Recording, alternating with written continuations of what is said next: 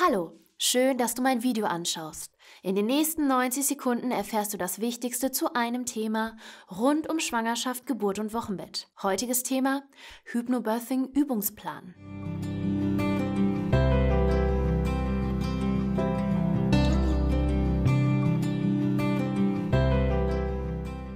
Jede Mama, die einen Hypnobirthing-Kurs gemacht hat, weiß, dass es Empfehlungen gibt, ab wann man die ein oder andere Übung in der Schwangerschaft regelmäßig üben sollte und wie oft man sie dann pro Woche ab diesem Zeitpunkt ungefähr üben sollte. Daran kann man sich dann sehr gut orientieren.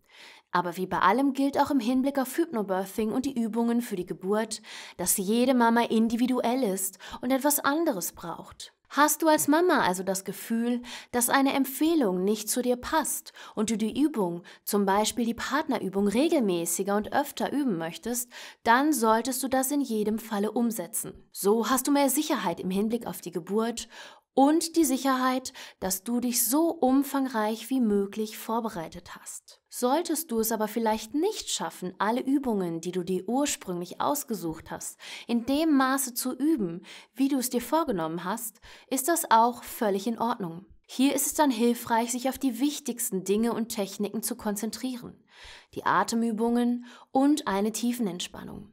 Alles andere könntest du üben, wenn du dann noch Zeit dafür hast. Und natürlich gibt es auch Mamas, die erst sehr spät in der Schwangerschaft von Hypnobirthing erfahren und somit auch erst sehr spät mit einem Kurs und den Übungen anfangen. Auch das ist kein Hindernisgrund für eine schöne und entspannte Hypnobirthing-Geburt. In jedem Fall solltest du als werdende Mama die Zeit, die du noch zur entspannten Vorbereitung hast, nutzen, anstatt dir Sorgen darüber zu machen, dass es nicht klappen könnte. Um noch mehr Mamas auf dieses wichtige Thema aufmerksam zu machen, gib diesem Video ein Like und teile es. Abonniere den Kanal und läute die Glocke, damit du kein weiteres Video mehr verpasst.